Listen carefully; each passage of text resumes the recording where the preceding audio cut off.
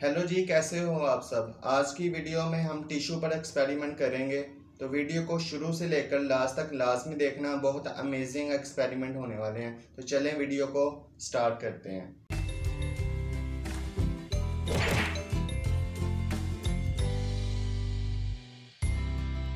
तो यहाँ पर मेरे पास तीन ग्लास हैं। दो ग्लास में मैंने पानी भर लिया और एक को खाली छोड़ दिया।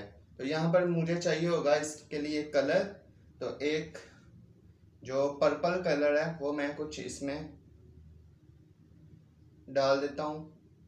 और और इसके लिए एक डिफरेंट कलर चाहिए होगा मुझे और मैं इसमें इसके लिए यूज़ कर रहा हूँ रेड कलर और ये मैंने इसमें डाल दिया रेड कलर इसको अच्छी तरह मिक्स कर लेते हैं। मैं इसको इसकी मदद से इसको मिक्स कर देता हूँ। और ये रेड वाले को भी मिक्स कर देते हैं, ठीक है? तो अभी देखना हमारे टिशू का कमाल। ये मैं टिशू इसमें तकरीबन तीन टिशू हैं। इसको मैं कुछ इस तरह फोल्ड कर देता हूँ, अच्छे तरीके से।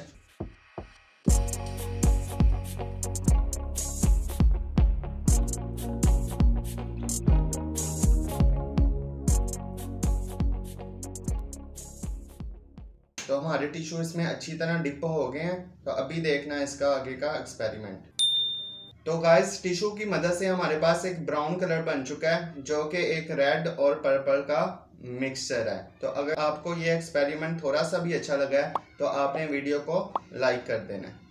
तो नेक्स्ट एक्सपेरिमेंट में आप ये देख सकते हो, ये हमारे पास एक टिशू है. तो ये अगर मैं इसके ऊपर पानी डालता हूँ तो ये इनविजिबल हो जाएगा. देखें. एक सिंपल टिश्यू जो हम आम तौर पर घरों में यूज़ करते हैं, ये इनविजिबल हो जाएगा जब भी हम इसके ऊपर पानी डाल देंगे। टोटली इसका कलर इनविजिबल हो गया है वाइट कलर था और अब इनविजिबल हो गया। तो टिश्यू की इसी इनविजिबल साइंस की मदद से मैं इसके ऊपर एक पेंटिंग बनाऊँगा बहुत ही यूनिक तरीके से।